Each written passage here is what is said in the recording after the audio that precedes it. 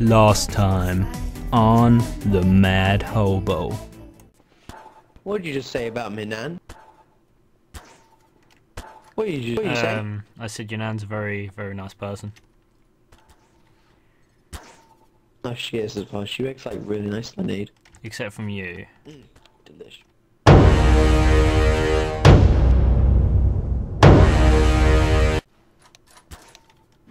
You what, mate? You're Oh my god, he's attacking me, sir! Please help!